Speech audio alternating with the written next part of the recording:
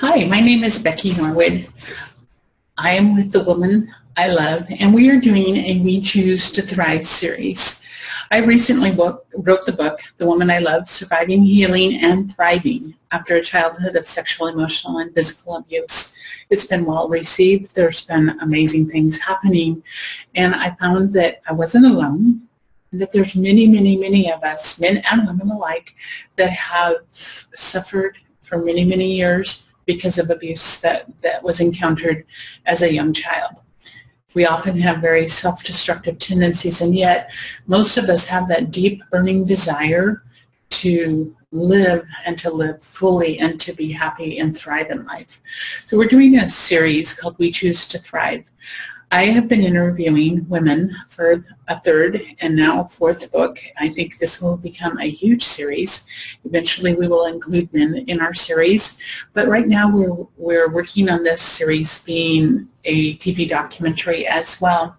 I haven't charged anything, but I'm running into an issue with how do I get this all accomplished because we do, uh, my first thought when I started was do a answer your my questions to you in a Google document.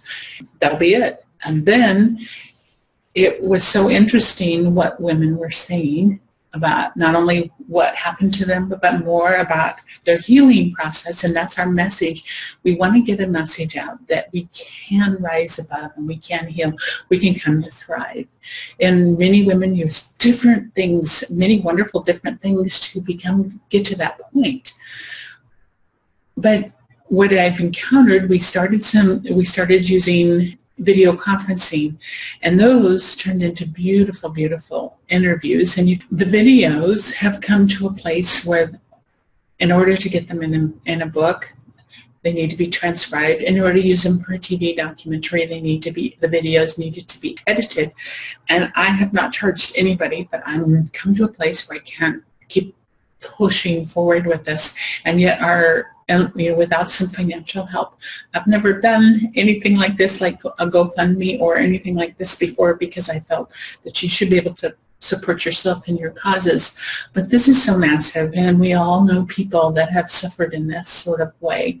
And in, in knowing that we have a message that is beautiful, that is clear, this is what we're doing. And each woman shows incredible strength and shows what she's done to thrive. And our message goes out to all of these survivors that this can be done and we can be a force for change in our world. So that's why I'm asking for contributions for this, to get this accomplished, to be a support system for those that have suffered in such, so many, many ways, and to make a difference in our world. Thank you. Whatever you can contribute to this cause would be so appreciated. I will hire somebody to to get the transcriptions done and the video edited and really make this something that will be a force for change. Have a great day.